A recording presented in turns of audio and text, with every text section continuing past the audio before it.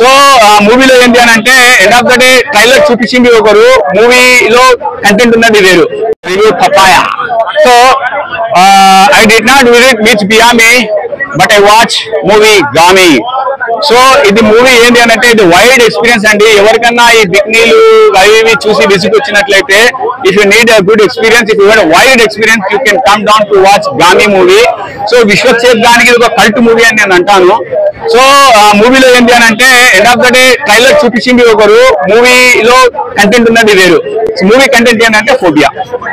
So director ఎట్లా మర్చిపోయారు Siberian tiger ఉంటుంది కానీ సైబీరియన్ లయన్ ఉంటుంది అని ఆయన ఎట్లా అన్నారో నాకు అర్థం కాలేదు. ఈ లాజిక్ నాకు మిస్ కాలేదు.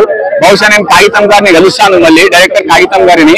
ఆయన కాగితం రాసేశాడు. బాక్స్ ఆఫీస్ కాగితం పైన తన సినిమాని రాసేశారు very nice and wide experience అండి. దిర్ ఇస్ వన్ క్యారెక్టర్ ఒకటే క్యారెక్టర్ని మూడు విధాలుగా చూపించారు.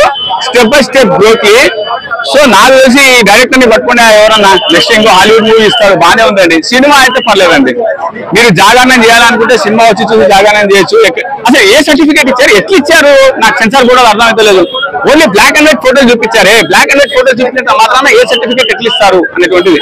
So the main reason is lobotomy the surgery of lobotomy makes the movie Gaami that's it right cinema ఉంది ఒక ఆ, నీకు లొబాటమీ సర్జరీ చేపిస్తా చూసుకుంది కంప్యూటర్ గ్రాఫిక్స్ ఎక్కువ వాడితేనే ఈ మధ్య కాలంలో సినిమాలు అనేవి పాన్ ఇండియా లెవెల్లో హిట్ అవుతున్నాయి. పుష్ప అవ్వచ్చు హనుమాన్ అవ్వచ్చు బింబిసార్ అవ్వచ్చు ఈ సినిమాలన్నీ రాజమౌళి గారు తీసే సినిమాలు అవ్వచ్చు రాజమౌళి గారు తీసే త్రిపుల్ ఆర్ అవ్వచ్చు బాహుబలి అవ్వచ్చు ఈ సినిమాలన్నీ కంప్యూటర్ గ్రాఫిక్స్ వల్ల ఎక్కువ బాగా ప్యాన్ ఇండియా వల్ల హిట్ అవుతున్నాయి. కంప్యూటర్ గ్రాఫిక్స్ ఎక్కువ వాడండి.